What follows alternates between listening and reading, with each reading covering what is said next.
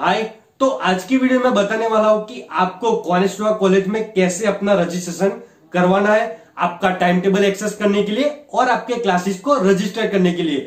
मैं आपको सारे स्टेप वन बाय वन बताऊँगा। अगर आप मेरे चैनल पे नए आए हो और मेरी वीडियो आपको पाँच या दस परसेंट भी आपके लाइफ में काम आ रही है तो प्लीज़ चैनल को सब्सक्राइब कर दीजिए। हमारा टारगेट है वन का सब्सक्राइबर तो चलो मैं आपको सारे स्टेप वन बाय वन बताता हूँ। तो रजिस्ट्रेशन के लिए टोटल आपको फोर स्टेप कंप्लीट करने पड़ते तो ही आपके क्लासेस रजिस्टर होते और तो ही आपको अपना टाइम टेबल मिलता है। तो इस चीज़ का आपको ध्यान रखना है। यहाँ पे आप देख सकते हो the following step are required to be register and to access your time table तो सबसे पहला स्टेप है हमारा provide proof of visa approval on your admission portal तो ये एडमिशन पोर्टल की लिंक है। तो मैंने उस पर पूरा वीडियो बनाया है कि कैसे आपको सारे वीज़ा की इंफॉर्मेशन फिल करनी है। कौन से कौन से डॉक्यूमेंट आपको अपलोड करने हैं। अगर आपने वो नहीं दिखा है तो मैंने उसकी लिंक आई बटन पर दे दिए तो आप वहाँ पे जाके चेक कर लेना। आपको सारा कुछ पता चल जाएगा डिटेल में मैंने बताया।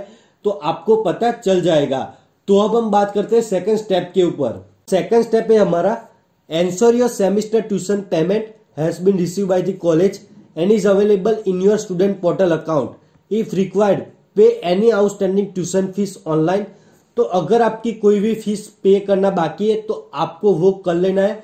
तो उसे चेक करने के लिए आपको सबसे पहले कॉनेस्टोगा के स्टूडेंट पोर्टल पर लॉगिन हो जाना है। तो जब आप लॉगिन होगे तो आपको सामने कुछ ऐसा इंटरफेस आएगा। तो यहाँ पे आपको फाइनेंशियल में जाना है। तो जब आप फाइनेंशियल में जाओगे तो आपके सामने कुछ ऐसा दिखेगा। तो यहाँ पे आपको प्रोग्राम फ़ीस पेमेंट पर सिंपली क्लिक कर लेना है। तो जब आप क्लिक करोगे तो आपके सामने कुछ ऐसा इंटरफेस आएगा। Currently no outstanding fees. Means कि मैंने पूरी वन ईयर की फ़ीस पे कर ली है। अभी मुझे फ़ीस पे करने की ज़रूरत नहीं है। अगर आपकी कोई भी आउटस्टैंडिंग फ़ीस दिखा रही है तो आपको वो सिंपली पे कर लेना है। तो ही आपके सेकंड स्टेप कंप्लीट होगा। तो अब हम जाते हैं थर्ड स्टेप के ऊपर। तो हमारा थर्ड स्टेप है कंफर्म योर इनवॉइस तो उसे करने के लिए आपको सिंपली स्टूडेंट पोर्टल पर लॉगिन हो जाना है कॉनेस्टोगा का। तो मैं लॉगिन हो गया हूँ। तो यहाँ पर आपको फाइनेंशियल का ऑप्शन दिख रहा होगा। तो वहाँ पर आपको सिंपली क्लिक कर लेना है।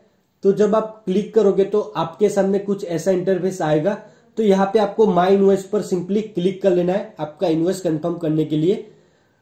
तो यहाँ पे आप देख सकते हो विंटर और स्प्रिंग का आपका सेशन दिख रहा होगा। तो मैंने विंटर 2023 का इन्वेस्ट ऑलरेडी कंफर्म कर रहा है। तो आपको कैसे करना है वो मैं आपको अभी बताता हूँ। तो सबसे पहले आपको माई इन्वेस्ट पे जाना है व्यू इन्वेस्ट पे। उसके बाद यहाँ पे आप देख सकते हो नीचे आपको सारी फैसिलिटी दिख रही होगी। तो ये सारी फैसिलिटी अगर आप वो चाहते हो तो आपको एक्सेप्टेड रखना है। अगर आप नहीं चाहते हो तो आपको सिंपली डिक्लाइन पर क्लिक कर लेना है। तो जब आप वो कर लेते हो तो मैंने सिंपली सारी फैसिलिटीज़ को एक्सेप्टेड कर रखा है। वो करने के बाद आपको सिंपली यहाँ पे कंफर्म एंड सेव पर क्लिक कर लेना है। इसका मतलब यह है कि आपका इन्वेस्ट कंफर्म हो गया है। तो यही थर्ड स्टेप है। ये बहुत सिंपल स्टेप है। तो वही आपको कर लेना है।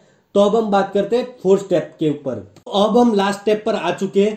तो हमारा लास्ट स्टेप है कि update your current address in your student portal अगर आप करंटली इन कैनेडा में हो तो आपको कैनेडा के एड्रेस एंटर कर लेना है।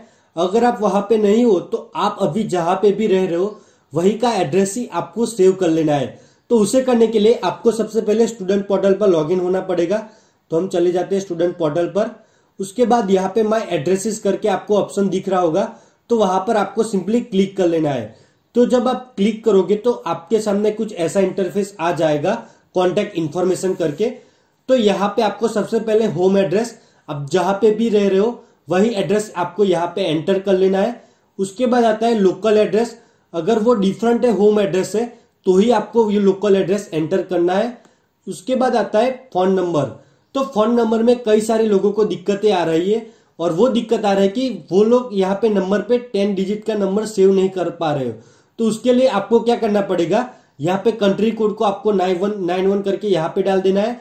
उसके बाद आता है एरिया कोड तो आपके मोबाइल नंबर पे जो दस डिजिट आती है, उसमें से पहले थ्री डिजिट आपको एरिया कोड में डालने हैं। बाकी के सेवन डिजिट आपको नंबर में डाल देने तो ही आपका एड्रेस या फ़ोन नंबर आपका सेव होगा। तो इस चीज़ को आपको ध्यान रखना है कि पहले थ्री नंबर आपको एरिया कोड में डालने हैं। बाकी के सेवन डिजिट आपको नंबर में एंटर कर लेने हैं। उसके बाद आता है आपका ईमेल एड्रेस तो ईमेल एड्रेस आपको यहाँ पे डाल देना है। उसके बाद आता है आपका इमरजेंसी कॉन्टेक्ट तो आपको अपना फादर मदर या सिस्टर की डिटेल्स यहाँ पे डाल सकते हो इमरजेंसी कॉन्टेक्ट में। उसके लास्ट आता है आपका social insurance number SIN information तो वो आप अगर कनाडा में हो तो ही आपके पास होगा। अगर आपके कनाडा में नहीं हो तो आपको यहाँ पे simply I don't have SIN पर सिंपली क्लिक कर लेना है। यहाँ पे आपको सेव पर सिंपली क्लिक कर लेना है। तो जब आप क्लिक करोगे तो आपको ऐसा दिख रहा होगा your address information has been save means कि आपकी सारी कॉन्टेक्ट इन्फॉर्मेशन सेव हो चुकी है और यहाँ पे आपका फोर स्टेप भी कंप्लीट हो चुका है। और एक बात की आपको अपना वन कार्ड फ़ोटो भी अपलोड कर लेना है, वो भी मैं आपको दिखा देता हूँ। वन कार्ड फ़ोटो अपलोड तो जब आप अपना फ़ोटो अपलोड कर देते हो तो आपके सामने कुछ ऐसा इंटरफेस दिख रहा होगा। तो यहाँ पे आपका वन का स्टेटस दिख रहा होगा फ़ोटो अप्रूव कब अपलोड किया, कब अप्रूव हुआ, ये सारी चीज़ें आपको दिख रही होगी। तो आपके अपलोड करने के बाद एक दो दिन में आपका फ़ोटो अप्रूव हो जाता है। तो ऐसे ही पूरी प्रोसेस आपको कर लेनी है। तो ऐसे ही आपको सारे स्टेप कंप्लीट करके आपका रजिस्ट्रेशन करना पड़ता है। अगर आपको इस वीडियो रिलेटेड कोई भी डाउट हो या कोई भी क्वेरी हो तो आप मुझे इंस्टाग्राम पे डीएम या कमेंट बॉक्स में कमेंट कर सकते हो। मैं आपके सारी क्वेरी को सॉल्व कर दूँगा। अगर आपको मेरी वीडियो अच्छी लगी हो तो प्लीज़ सब्सक्राइब कर देना। आपके सपोर्ट की ज़रूरत है।